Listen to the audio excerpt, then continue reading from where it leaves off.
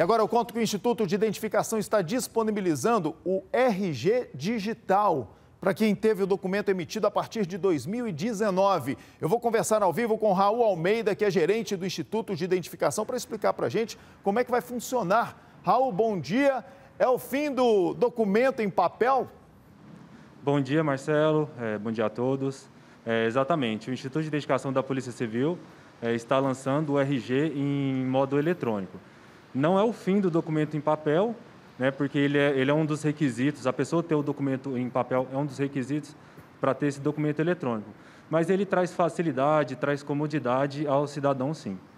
E para aquelas pessoas que tiveram RG emitido antes de 2019, elas também vão conseguir esse, essa versão digital? Em 2019, nós tivemos um lançamento de um decreto federal que ele mudou o modelo da carteira de identidade. Tá?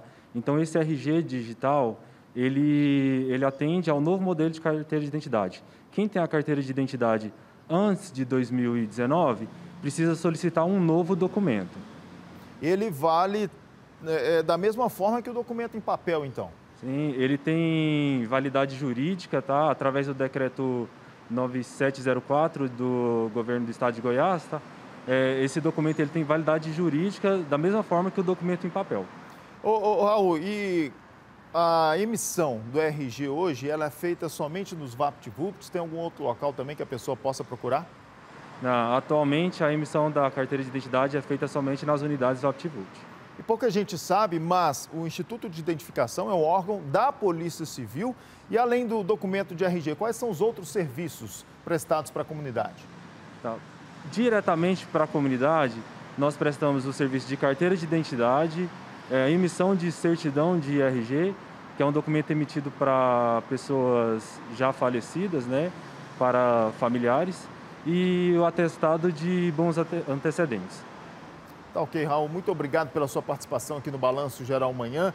Fica aí, então, né, a, a, a orientação para o nosso telespectador. Você que teve o seu RG emitido até 2009, pode então solicitar. Qualquer pessoa pode solicitar, independente do Sim. ano. É, na verdade, qualquer pessoa pode solicitar a carteira física, né? A carteira de identidade física. E a carteira, o RG digital, a partir de 2019. Tá certo, então. Valeu, Raul. Aí é só baixar ali pela, pela internet. Exatamente. Através das lojas, né, do Android e iOS, é, o aplicativo é denominado RG Digital GO. Maravilha. Obrigado, forte abraço para você. Valeu pela participação com a gente aqui no Balanço Geral Manhã.